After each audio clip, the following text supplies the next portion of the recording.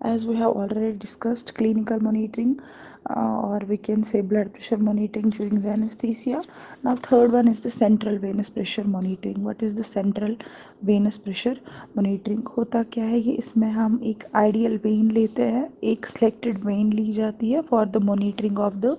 central venous pressure for the monitoring of the C V P तो इसके लिए एक सिलेक्टेड वेन जो हम लेते हैं that could be that could be the right internal jugular vein because it is valveless x इसमें value का नहीं होता है and is direct and it is in direct communication with the right atrium because this vein is in direct communication with the right atrium that's why we select we select the vein like right internal jugular vein which is to be selected for monitoring the C V CVP और और क्या किया जाता है? हम सी V P से दूसरी और भी कोई वेन ले सकते हैं like we can take subclavian vein और we can take femoral vein also हम क्या करते हैं इसमें? क्यों किया जाता है C V P first of all what are the indication of the C V P first indication is when there is major surgery in case of major surgery we can go for the central venous pressure monitoring major surgery में हम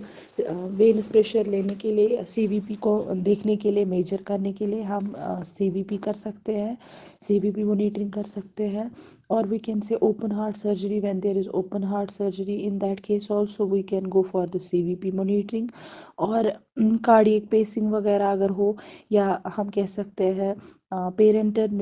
parenteral nutrition हो या हम कह सकते हैं fluid management अगर देना हो पेशेंट जो शॉक में हो जिसमें कि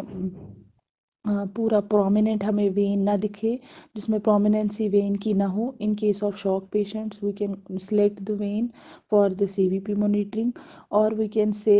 aspiration in case of aspiration of air embolus अगर ईयर एम्बुलिज्म हुआ हो, जिसकी वजह से एस्पायरेशन हो, उस कंडीशन में भी हम सेंट्रल वेनस प्रेशर मोनिटरिंग कर सकते हैं, जिसमें कि हम एक सिलेक्टेड वेन लेते हैं for the monitoring the normal values of the CVP or what is the normal range of the CVP. Firstly, uh, the normal range of CVP is uh, 3 to 10 mm of uh, 3 to 10 centimeters of H2O that can lead to 2 to 8 mm of Hg. अगर देखा जाए तो अगर हमें 10 से ज़्यादा अगर 15 तक CVP आ सकता है रेज हो सकता है that can be the another another indication also but if the CVP raises more than 20 um, 20 centimeters of H2O it can lead to the heart, right heart failure. अगर um, 20 सें twenty centimetre से अबो देखा जाए range CVP uh, का या 20 centimetre range देखा जाए CVP का तो uh, हम कह सकते हैं there could be the the और there the patient can be suffering from the heart failure disease अब अगर चिल्ड्रंस की बात करें तो सी रेंज चिल्ड्रंस में थ्री टू सिक्स सेंटीमीटर्स रहता है. There could be the three to six centimeter of of uh, H2O range, uh, CVP range in the children's.